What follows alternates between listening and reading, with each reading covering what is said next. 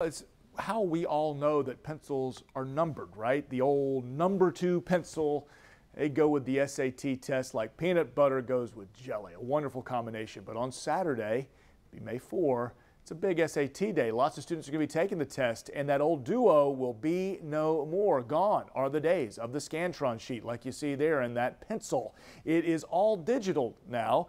Uh, students taking a new looking SAT, all on computers and we spoke with an SAT expert. The guy got a 1600 on the test, perfect score.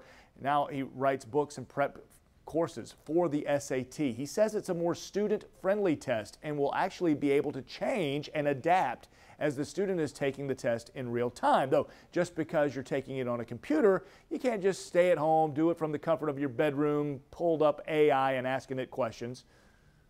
You won't be able to do it at home. I know everyone would love that. Have ChatGPT open in the background answering all your questions. You still got to go to an approved testing center and, and take the exam, of course.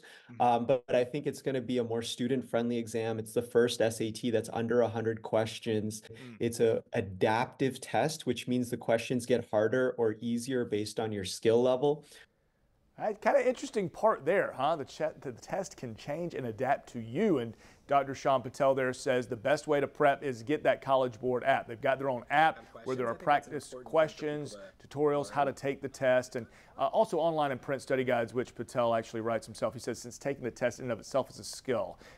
By the way, good luck. If you're taking the test on Saturday, go do your best. Have a good breakfast. That's my best advice. Keitha? Hungry right now. Thanks for that, Turner. It's